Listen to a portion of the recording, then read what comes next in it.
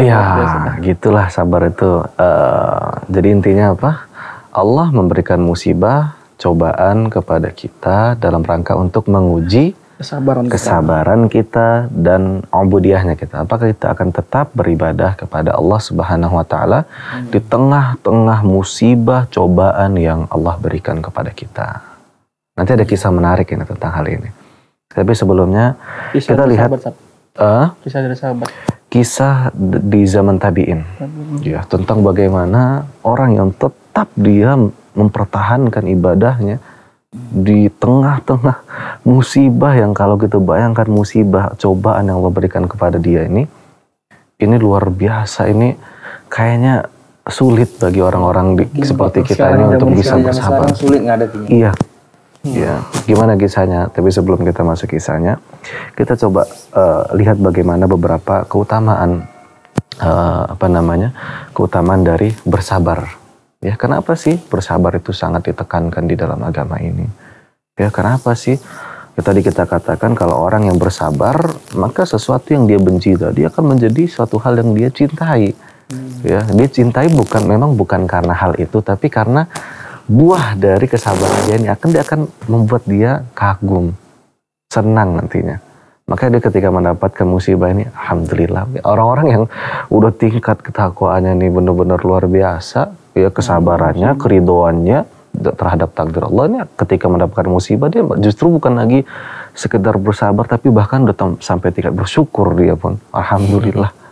Ya ya. Nah kenapa? ya karena ini tadi kita lihat ini ada beberapa fadilah orang yang bersabar. Sehingga ketika kita tahu fadilahnya maka ketika kita menghadapi cobaan-cobaan itu kita akan bersyukur. Karena apa? Oh insya Allah kalau aku melewatinya dengan baik aku akan mendapatkan buah yang luar biasa dari Allah Subhanahu wa taala nantinya. Baik, kita lihat di sini. Di antara uh, apa namanya? keutamaan bagi orang-orang yang bersabar itu berupa apa? Pahala yang tidak ada batasannya Allah akan janjikan kepada mereka. Ya. Coba deh kita di sini hidup di dunia ini untuk beribadah kepada Allah Subhanahu wa taala. Hmm. Ujung-ujungnya kita pingin apa dari ibadah kita itu? Pahala. Kita ingin pahala. Dengan pahala itu kita berharap akan mendapatkan rahmat Allah, kemudian kita masuk ke dalam surga Allah. Itu kan yang kita inginkan, pahala. Orang seorang mukmin ketika dia beramal, dia akan cari tahu dulu.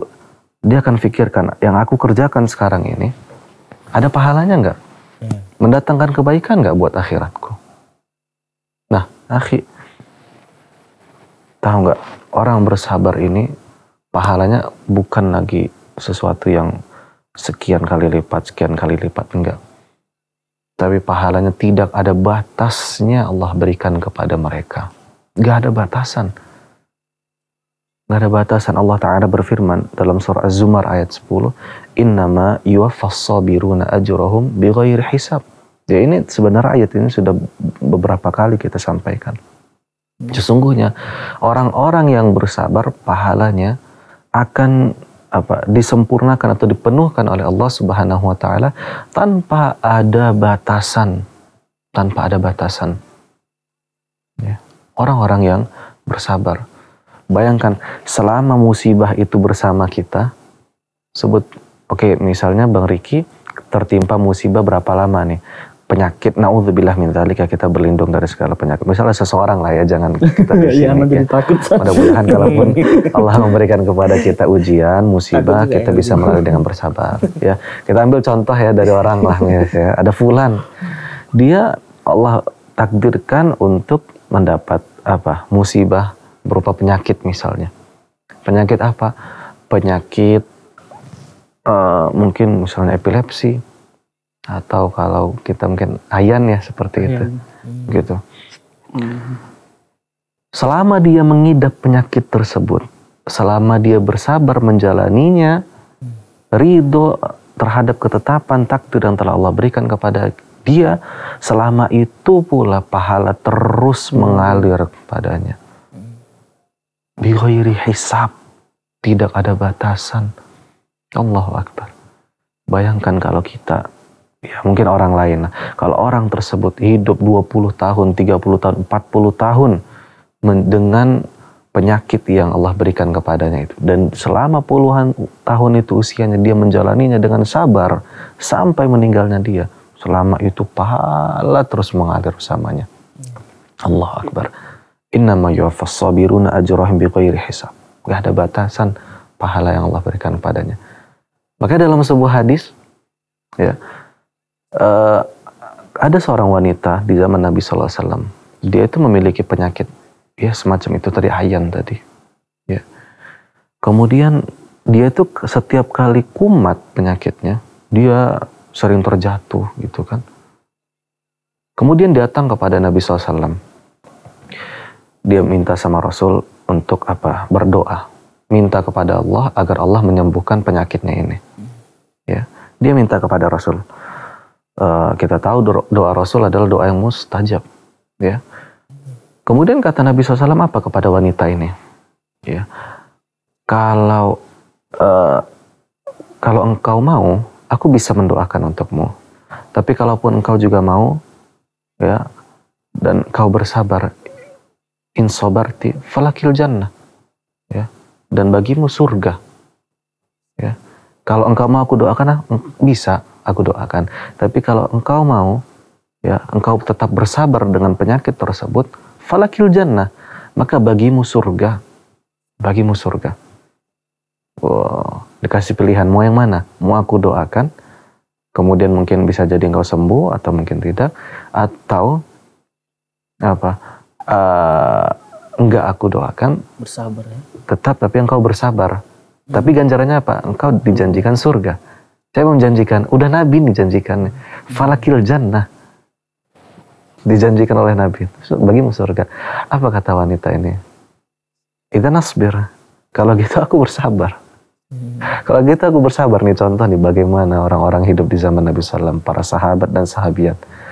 Mereka itu kalau disuruh kasih pilihan kenikmatan dunia atau kenikmatan akhirat, harus korbankan salah satu mau yang mana. Mereka lebih memilih korbankan kenikmatan dunia. Gak apa-apa, aku sakit yang penting aku dapat surga. Gak apa-apa aku harus bersabar menahan ini. Yang penting aku dapat surga. Ya. Dapat pahala yang banyak. Begitu nih. Para sahabat, para sahabat Nabi SAW yang harus kita jadikan sebagai suri teladan kita. Betul ya. Ya. Jadi akhirnya wanita ini pun bersabar dengan penyakitnya itu dan dia mengatakan sama Nabi SAW, akan tetapi Rasul ketahuilah bahwasanya ketika penyakitku kumat, sering sekali uh, pakaianku ini tersingkap, auratku ini tersingkap. Ya karena mungkin jatuh ya kalau orang kumat dari penyakit ayannya itu mungkin kan dia udah jatuh nggak sadar pakaiannya bagaimana ya, kan. lihat anak ah seperti itu kan nggak nggak kita nggak tahu gitu dia nggak ngerasakan itu. Nah jadi wanita ini khawatir auratnya tersingkap maka dia minta sama Rasul ya nggak perlu mendoakan kesembuhan tapi berdoa agar mudah-mudahan auratnya tidak tersingkap jika kumat itu yang akhirnya dia pilih ya Gak apa-apa deh, gak apa-apa dia nggak sembuh. pun bagus ada. Iya. Doanya pun juga bagus. Iya, yang penting bagaimana tetap auratnya terjaga. Bukan yang penting ya Rasul kalau aku dapat apa namanya aku kumat, doakan biar ada orang nolong. Hmm. Itu masih mungkin oke okay lah ya wajar ya. Masih Ini nggak mikirkan itu dia mikir mikir ya, bagaimana auratnya nggak tersingkap. Hmm. Ya auratnya nggak tersingkap itu intinya. Ah,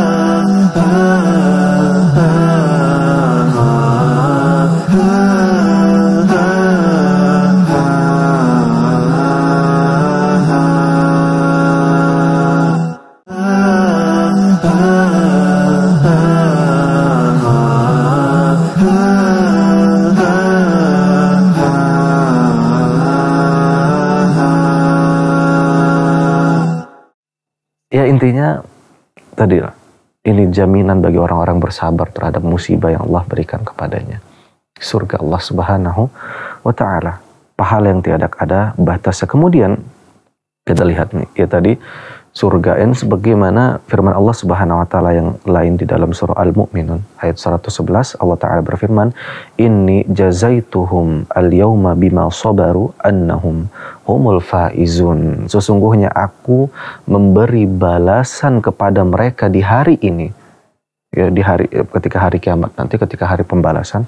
Aku memberi balasan kepada mereka karena kesabaran mereka karena kesabaran mereka sesungguhnya mereka itulah orang-orang yang menang ini orang-orang yang sukses tadi orang yang sukses bukan orang yang ketika dia mendapatkan cobaan kemudian dia mampu melampiaskannya bukan ini hmm. jangan kira ketika kita mendapatkan uh, perbuatan yang buruk sikap yang buruk dari orang lain misalnya. Orang ada mendolimi kita. Terus ketika kita membalasnya dengan sempurna, kemudian kita merasa, aku sukses. Bukan ini orang sukses. Orang sukses bukan ketika dia mampu membalas kezaliman orang lain, bukan. Tapi justru ketika dia bersabar. Ketika dia bersabar menghadapi hal yang demikian itu. Bisa uh, mau nanya nih. Iya. Jadi ketika kita kena musibah yang begitu besar seandainya dulu kita kaya, tiba-tiba kita dimiskinkan. Itu kadang-kadang kita terpikir apakah ini Allah marah dengan saya atau ini ujian gitu. Jadi gimana menyikapinya?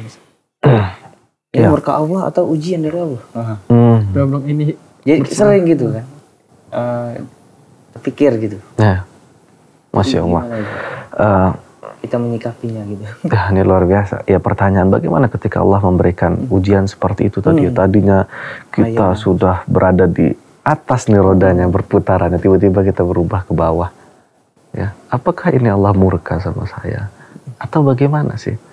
Ya jawabannya ini bisa ya kita introspeksi diri kita pertama. Ya. Karena ingat tidak satu pun musibah yang Allah berikan kepada kita melainkan itu karena dosa yang mungkin pernah kita lakukan ya Wama asobakum min musibatin fabima kasabat aidikum dan tidak ada satupun musibah yang menimpa kalian melainkan itu karena ulah tangan kalian sendiri. Melainkan itu karena ulah tangan kalian sendiri artinya karena dosa kalian. Itu pertama. Ya. ketika kita mendapatkan musibah cobaan seperti itu oh mungkin ada dosa yang aku lakukan.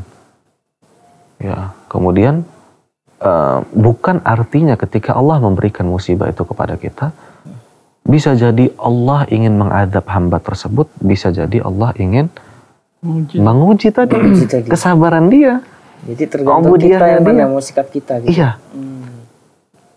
Ketika memang ya akhirnya kita melewatinya dengan tidak ada kesabaran dan ubudiyah, berarti ini menjadi azab dari Allah Subhanahu wa taala yang Allah dahulukan di dunia untuknya. Hmm.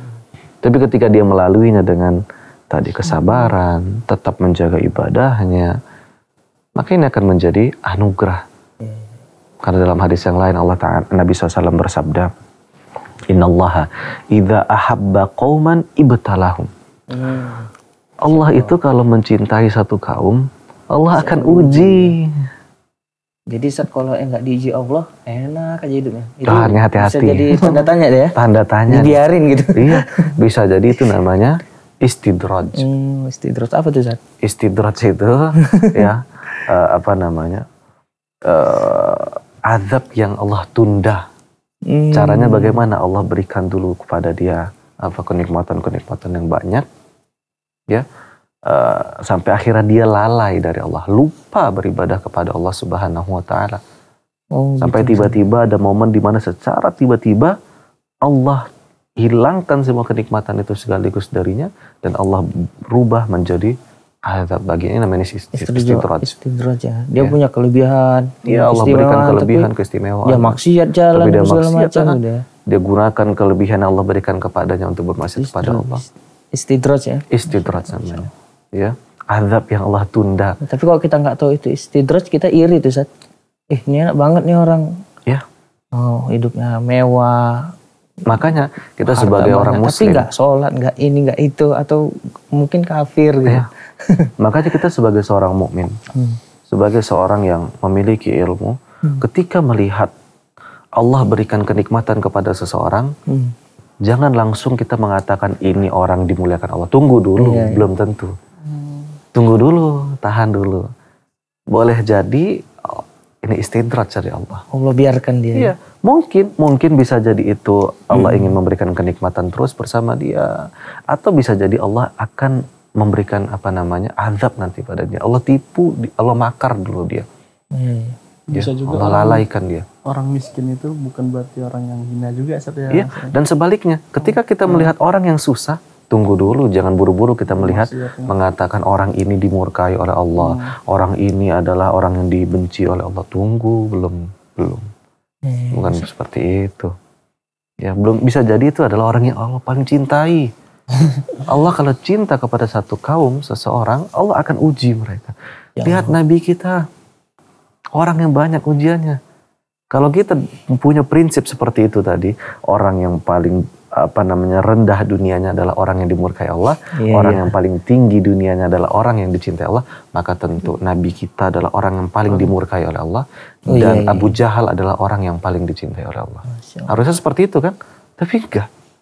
Allah. Kalau Jadi- kita masih memiliki prinsip seperti itu, tentu Nabi Musa adalah orang yang paling dibenci oleh Allah dan Firaun, Korun adalah orang yang paling dicintai oleh Allah.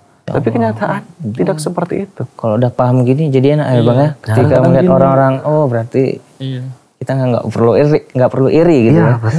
Nggak perlu tenang dulu, calm down, tenang ya. Namanya manusia kan saat nengok orang enak, oh pengen gitu. Kadang-kadang juga Ustaz ya kan nanti ada orang yang sakit lama gitu kena ajab gitu. Iya, belum tentu. Belum tentu. Perhatikan kisah wanita tadi. Iya. Dapat penyakit seumur hidupnya, dia nggak Nabi doakan untuk kesembuhan. Tapi apa?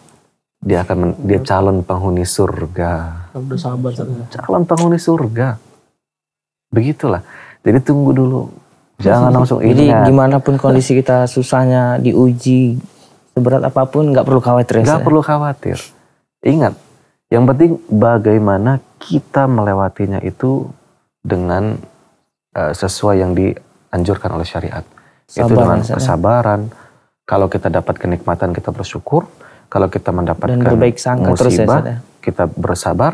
Kalau kita mendapatkan apa namanya jatuh dalam kesalahan kita Bertobat. bertaubat.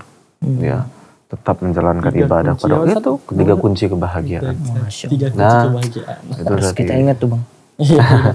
Jadi itu tadi memang orang-orang kita balik lagi bahas tentang kesabaran, tentang kesuksesan tadi itu kayak Hmm. kata Bang Riki bilang.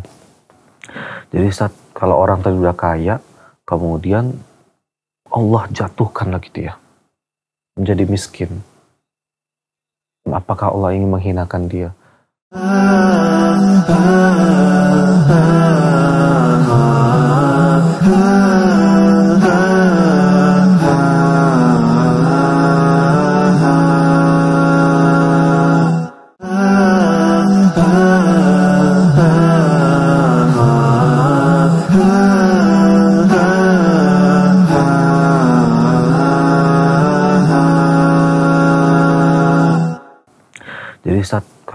udah kaya, kemudian Allah jatuhkan lagi dia menjadi miskin. Apakah Allah ingin menghinakan dia? Atau ya bagaimana? Enggak, tadi kita katakan kita sudah jawab tadi panjang lebar. Kemudian Iya. mungkin ada orang mengatakan, oh ini orang yang nggak sukses, orang gagal nih, orang bangkrut. Belum tentu. Ya. Kalau dia bisa berhasil melewati itu dengan kesabaran, ini adalah orang-orang yang faizun, orang yang berhasil tadi. Ya. Bagaimana yang Allah sebutkan tadi dalam surah Al-Mu'minun ayat 111. Ya. Inni jazaitum al-yaum. Inni jazaituhumul yaum bima sabaru annahum humul faizun. Sesungguhnya hari ini aku memberikan balasan ini kepada mereka. Itu berupa surga, kenikmatan. Kenapa? Ya, annahum humul faizun. Inilah apa nama bima sabaru karena mereka bersabar dan mereka itulah orang-orang yang berhasil, orang-orang yang menang. Ini orang sukses. Orang sukses. Jadi belum tentu orang yang tadi udah kaya raya terus dia bangkrut, artinya dia nggak sukses. Belum tentu. Ingat, selama dia menjalaninya dengan kesabaran, ujian tersebut, ini dia akan menjadi orang-orang sukses nantinya di kehidupan dia yang kekal nanti. Ya. Kemudian, akhi, ketika kita mendapatkan cobaan, mendapatkan musibah, kita pingin kan maksudnya, bagaimana musibah ini, ya tentulah tadi kita udah tahu kita harus bersabar, tapi kita juga pasti nomor normalnya manusia ada harapan bagaimana musibah dan cobaan ini Terlampaui atau bisa kita lewati, Kita lewati. bisa hilang, minimal bisa eh, ringan iya. ya, menjadi ringan ujian yang kita lewati ini. Tentu kita ingin seperti itu kan. Ya. Iya, iya. Selain kita sudah bersabar, tentu ada harapan seperti itu. Nah, dengan bersabarlah salah satu kuncinya agar Cobaan terasa ringan, Kak. cobaan tersebut terasa ringan. Dengan bersabar agar Allah menolong kita melewati musibah tersebut. Hmm. Allah Ta'ala berfirman di dalam ya, Al-Quran di surah Al-Baqarah ayat 153. Ya ayyuhalladzina amanu sta'inu bis sabri was salah. Ya. Wahai orang-orang yang beriman, mohonlah pertolongan kepada Allah dengan bersabar dan sholat. Innallaha ma'as sabirin. Sesungguhnya Allah bersama orang sabar. Kita lihat tadi. Kita mau mendapatkan pertolongan dari Allah untuk melewati ujian tersebut. Untuk melewati musibah ini, cara bagaimana? Bersabar. Caranya dengan bersabar. Ya. Justru ketika kita tidak bersabar, Kepikiran terus ada maka pertolongan Allah itu nggak kunjung datang nantinya. Walaupun mungkin musibah itu hilang, tapi kok akan ada lagi musibah baru mungkin akan datang. Iya. Atau akan terus terasa berat. Kalau kita mungkin bergantung dengan orang lain, tapi bersabar, bergantung dengan Allah, maka Allah akan berikan pertolongan. Ingat kata Allah tadi, Ista'inu bis sholat. Mohonlah pertolongan kepada Allah dengan bersabar dan sholat. Jadi bersabar merupakan sebab pertolongan Allah. Agar Allah meringankan ujian yang kita lalui. Jadi akhi, ginilah indahnya Allah. Ginilah baiknya Allah. Ginilah apa eh, rahmat Allah subhanahu wa ta'ala kepada kita. Allah sudah ketika Allah menguji kita. Ketika Allah memberikan cobaan kepada kita. Allah juga telah memberikan kunci-kuncinya. Hmm, bagaimana kita cara melaluinya. Ya, dan Allah juga sudah memberikan clue kepada kita apa yang harus kita lakukan agar ujian yang Allah berikan kepada kita ini Allah juga akan ringankan lagi sama kita. Allah berikan sama kita. Kemudian kalau kita melakukan satu hal yang Allah arahkan, arahan dari Allah, lakukan ini. Maka Allah setelah memberikan ujian tersebut, Allah akan ringankan lagi dan bahkan Allah akan menghilangkan musibah itu dari kita. Caranya dengan apa? Ista'inu bis sabari wassalah. Mohon pertolongan kepada Allah dengan bersabar dan sholat. Ya, sabar, sholat. Mungkin kita udah sholat, tapi kadang orang nggak bersabar. Dia sholat tapi nggak bersabar. Ya, bener sholat mungkin. ya Allah, kenapa? Aku udah sholat. Kenapa ini pertolonganmu tidak kunjung datang ya Allah? Bisa jadi kurang sabar. Iya. Jadi apa? Buktinya lisannya masih berkeluh kesah. Iya. Oh. Kan kita tuh rukun kedua apa? Ya bersabar dengan lisan tidak berkeluh kesah. Iya. Dan itu nggak bersabar juga namanya. Ya. Itu nggak bersabar juga namanya. Saling berkaitan semuanya. Iya. Makanya di dalam surah Al-Baqarah 153 tadi di akhir Allah bilang innallaha ma'as sabirin. Allah itu senantiasa bersama orang-orang bersabar. Art- artinya pertolongan Allah tuh senantiasa bersama mereka. Bukan artinya Allah ada di sisi kita sini ya, enggak. Akidah Ahlussunnah Allah tuh ada di langit. Tapi pertolongan Allah tuh senantiasa akan bersama kita. Bersama siapa? Orang-orang bersabar.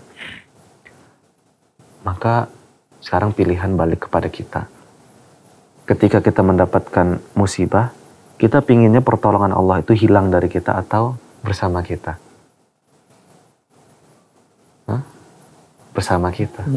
Kita ingin pertolongan Allah tetap bersama kita ketika kita mendapatkan musibah. Maka caranya bagaimana agar pertolongan Allah senantiasa bersama kita? Lagi-lagi dengan bersabar. Tadi kunci dengan bersabar. Innallaha ma'as sabirin.